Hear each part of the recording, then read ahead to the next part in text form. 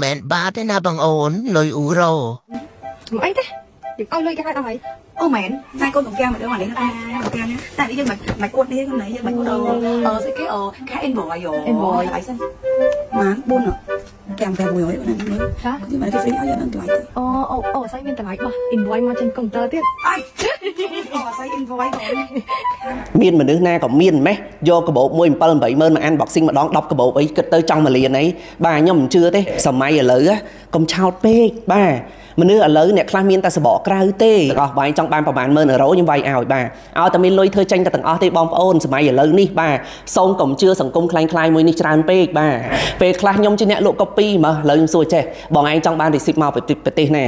បារាំងអូស្ត្រាលីកាណាដាញូហ្សេឡង់ស្វីសឡែនបាទលុយអឺរ៉ូលុយយួនលុយខ្មែរខ្ញុំវាយចេញឲ្យទាំងអស់បាយចង់បានប្រហែល10000អឺរ៉ូខ្ញុំវាយឲ្យបាទមកកបងហាងខ្ញុំចុងវាងចូល Facebook page ខ្ញុំខ្ញុំធ្វើឲ្យចង់ដាក់ទឹកលុយ1លានដុល្លារក៏ខ្ញុំវាយឲ្យចេញដែរបងប្អូនបាទខ្ញុំសូមបញ្ជាក់ណាថាបងប្អូនទិញកាបូបខ្ញុំមួយត្រឹមតែ2 3000ថ្លៃបំផុតចង់បានវិក័យប័ត្រវាយចេញជាទឹកលុយប្រមាណក៏ខ្ញុំវាយចេញឲ្យដែរបងប្អូនកំងអីចេញនឹងហើយធានាថាវិក័យប័ត្រគឺដូរជាមួយនឹង របស់ស៊ីននៅក្នុងស្ទ័រអញ្ចឹងបាទ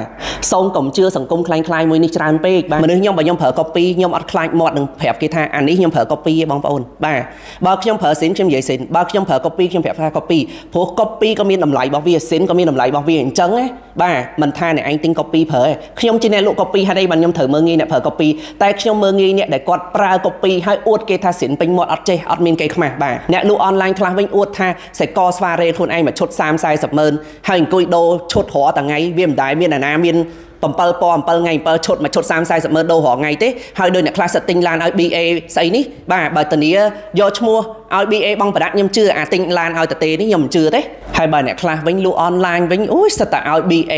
មួយឆ្នាំ30 40ម៉ឺនហើយបើគ្រាន់តែ BA ងាប់ហើយមកប្រម៉ូតមួយឆ្នាំ30 40ម៉ឺន20 30ម៉ឺនខ្ញុំចង់និយាយថាបន្តិចទៀត BA ឡើងតកែហើយបាទហើយតកែក្រុមហ៊ុនហ្នឹងដើរសុំទានអស់ហើយបាទហើយសួរថាមួយឈុតចំណេញប្រមាណឲ្យ BA សិត20 30ម៉ឺនម្នាក់ហើយខ្លះមាន BA មួយឆ្នាំ3 4នេះ ខ្ញុំទិញផ្ទះពីរល្វែងនៅបរិយាពេញងុតច្បារអំពៅលើផ្លូវធំមកល្វែង46ម៉ឺនពីរល្វែង96ម៉ឺនបាទទស្សនិកជនជាទីគោរពនៅក្នុងថ្ងៃនេះក្រុមការងារផ្ទះតារាធីវីរបស់យើងបានមកជួបសម្ភាសន៍ដល់ផ្ទាល់ជាមួយនឹងលោកជុងវាងដែលជាប្អូនប្រុសបង្កើតរបស់កញ្ញាវាងសេណូម្ដងទៀតហើយឃើញថាប្រធានបទនេះក៏កំពុងតែផ្ទុះខ្លាំងផងដែរនៅតាមបណ្ដាញសង្គមឃើញថាលោកជុងវាងក៏បានរៀបរាប់មួយចំនួនផងដែរតាក់ទងជាមួយនឹងក្បាលវីដេអូរបស់យើងខាងមុខនេះបាទដូច្នេះចង់ដឹងថាតើនៅក្នុងថ្ងៃនេះលោកជុងវាងនឹងលើកយកអ្វីបន្ថែមពីលើទៀតជូនដល់បងប្អូនទស្សនានោះបាទកុំឲ្យខាត់ពេលយូររីករាយទស្សនាជាមួយនឹងកម្មវិធីរបស់យើងជាបន្តផ្ទះតារាព័ត៌មានស៊ីជម្រៅនិងច្បាស់លាស់ឃើញគេកំពុង unboxing ហ៎តែម៉ែឯងតាមគេតាមឯងដែរហើយហត់ណាស់ថ្ងៃអត់ចេះស្គាល់ជំងឺតនសម័យហ៎ជំងឺ unboxing ណា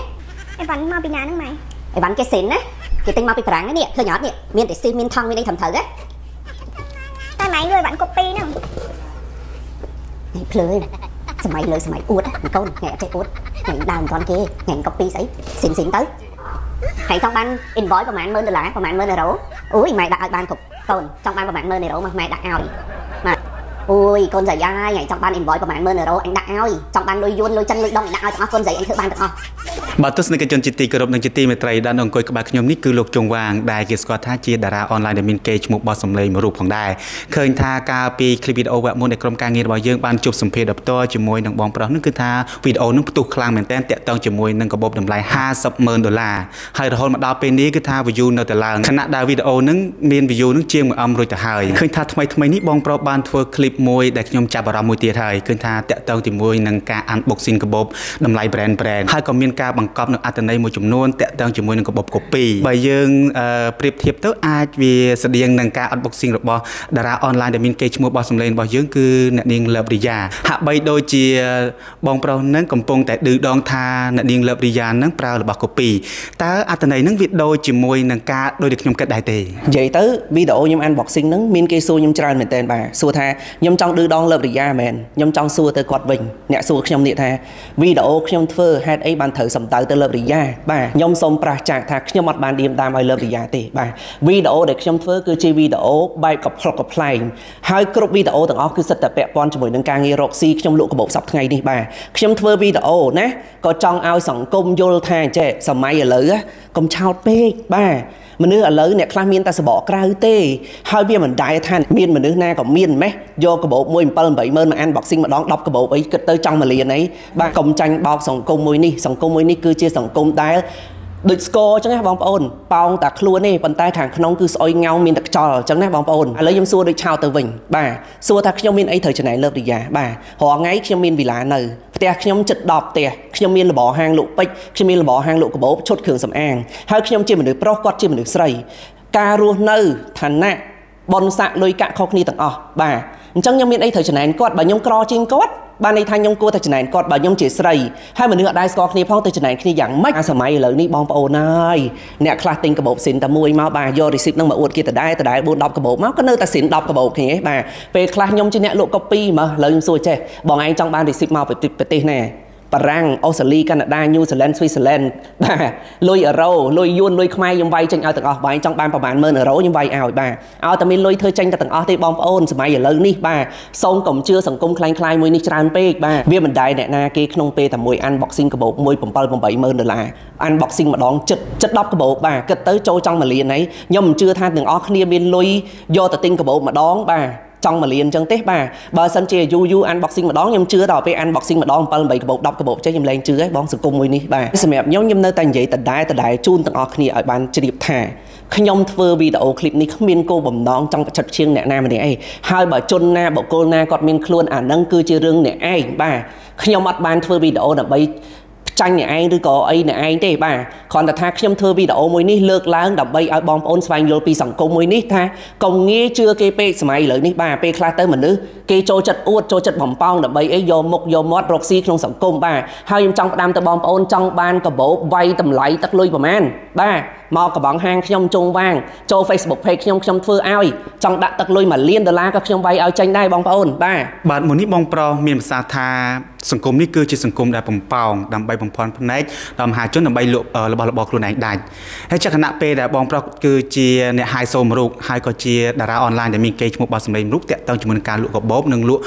របស់របរផ្សេងផ្សេងតើហេតុអ្វីបានជាបងប្រុសមិនប្រើយុទ្ធសាស្ត្រនេះដូចគ្នាដែរបាទនិយាយទៅ style មនុស្សខុសគ្នាបងខ្ញុំរកស៊ីមក10ឆ្នាំហើយបាទខ្ញុំមិនមែនតែមាន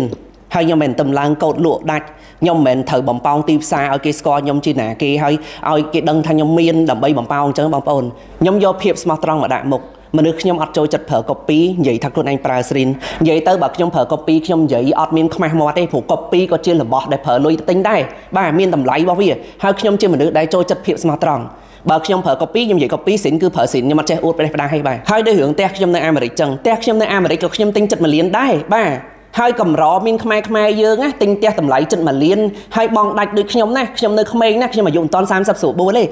គ្រាន់តែបន្ទប់ព្រះខ្ញុំខ្ញុំរៀបចំអស់ចិត្ត20ម៉ឺនបាទ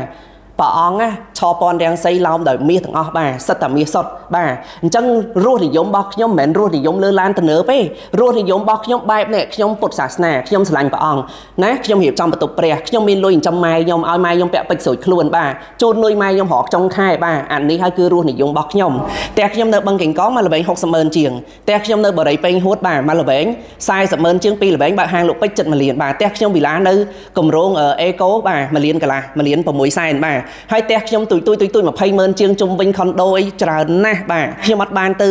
ទៅឈរមកផ្ទះគេ live អួតធ្វើរបស់ខ្ញុំខ្ញុំអត់បានទៅខ្ចីររយគេយកមកជី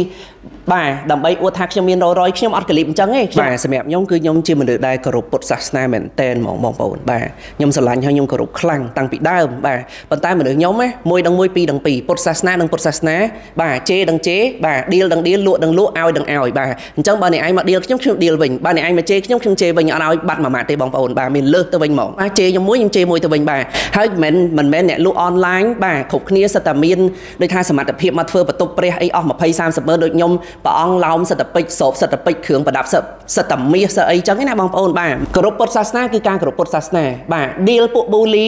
ឌីលពួកឆបោកពួកមកមើងងាយយើងអាខ្ទើយអាមឹងអាមីអាឆ្កែអាឆ្មាទុកវាត្រីបាទទុកវាឲ្យនៅបំពល់សង្គមហ៎បាទហើយរាល់ថ្ងៃខ្ញុំអត់មានរកស៊ីអីខុសច្បាប់ផងខ្ញុំមិនដែលចេះលក់បោកប្រាក់គេខ្ញុំមិនដែលចេះលក់កូពីទៅប្រាប់គេឡាំងឡាំងឡាំងឡាំងដូចអ្នកខ្លះអូសិនសិនសិនសិនផងបាទ ភ្ញៀវណាខ្ញុំហ៊ាននិយាយបានថាទិញខ្ញុំ10នាក់ណាមកវិញ5 10នាក់បាទបើខ្ញុំរកស៊ីមិនសុចរិតរកស៊ីមិនស្មោះត្រង់លក់របស់មិនល្អខ្ញុំមិនមែនមានថ្ងៃនេះទេខ្ញុំមានផ្ទះនៅអាមេរិកមានផ្ទះនៅស្រុកខ្មែរខ្ញុំមានលុយបើកហាងលក់ពេជ្រឆាប់ឆាប់ៗនេះបាទមិនមែនបើកហាងលក់ពេជ្រអស់លុយ10 10 20ម៉ឺនបើកបានទេបងប្អូនត្រូវមានលុយរាប់លានយកទៅបើកហាងលក់ពេជ្រហើយមិនមែនខ្ញុំមានលុយមករៀបចំបន្ទប់ព្រះ20 30ម៉ឺនសិតតែមាសសុទ្ធគ្រឿងប្រដាប់ចឹងទេបាទអញ្ចឹងសបញ្ជាក់ថាការងាររកស៊ីរបស់ខ្ញុំគឺខ្ញុំសុចរិតខ្ញុំលក់មានគុណភាពត្រឹមត្រូវបាទបាទនៅពេលដែលក្រុមការងាររបស់យើងបានដឹងប្រវត្តិរបស់លោកជុងវាងហ្នឹងឃើញថាលោកជុងវាងបានរៀនជ្រៅជ្រះខ្លាំងមែនទែនរហូតដល់បញ្ចប់បញ្ញាបត្រនៅឯក្រៅប្រទេសថែមទៀតផងហេតុអ្វីបានជាលោកសម្រេចចិត្តធ្វើជាអ្នកលក់អនឡាញទៅវិញខ្ញុំរៀនចប់ផ្នែកខាង Interior Design 4ឆ្នាំនៅប្រទេសសិង្ហបុរីខ្ញុំរៀនចប់3ឆ្នាំផ្នែកខាងគ្រឿងសម្អាងនៅសហរដ្ឋអាមេរិករាល់ថ្ងៃខ្ញុំមានសញ្ជាតិអាមេរិកខ្ញុំកូនខ្មែររស់នៅសហរដ្ឋអាមេរិកនិយាយទៅខ្ញុំរៀនបានច្រើនហើយមូលហេតុដែលខ្ញុំរៀនបានច្រើនតែមកធ្វើជាអាជីពអនឡាញបាទខ្ញុំគិតថាការងារណាក៏មានតម្លៃមានកិត្តិយស បាទដែលគ្រប់គ្នាមិនចាំបាច់រើសអើងដែររាល់ថ្ងៃខ្ញុំមានខ្ញុំបានដោយសារអាជីពអនឡាញតើអញ្ចឹងខ្ញុំឆ្លាញ់ការងារមួយនេះបាទហើយខ្ញុំក៏ផ្ដល់តម្លៃឲ្យការងារមួយនេះដែរបាទហើយអ្នកដែលបូលីថាខ្ញុំគ្មានឡានល្អជិះដូចគេខ្ញុំសួរថារហថ្ងៃខ្ញុំមានអីអន់បាទ ឡានខ្ញុំជិះសដេះសេរីថ្មី5 10ម៉ឺនដែរបាទសរោម៉ៃហើយចុះខ្ញុំមានផ្ទះនៅស្រុកក្រៅខ្ញុំមានផ្ទះនៅអាមេរិកខ្ញុំមានផ្ទះនៅស្រុកខ្មែរហើយសួរថាខ្ញុំមានចំណេះដឹងខ្ញុំរៀនចប់នៅសិង្ហបុរីរៀនចប់នៅអាមេរិកខ្ញុំមានអីអន់ជាងអ្នកឯងបាទហើយខ្ញុំមួយថ្ងៃលក់កាបូបបាន10 20កាបូបបាទខ្ញុំមិនតាំងមានលុយទៅ unboxing ស្អីកាបូបចិត្តមួយលានអញ្ចឹងផងបាទអញ្ចឹងបងប្អូនគួរតែមើលហើយគិតពិចារណាដោយភាពបីឆ្លាតខ្ញុំធ្វើកាបូប copy បាទ1 2 3000 1 7 800 1000ខ្ញុំបានហើយបងប្អូនមុំមុំបានហើយផ្ទះតារាព័ត៌មានស៊ីជម្រៅនិងច្បាស់លាស់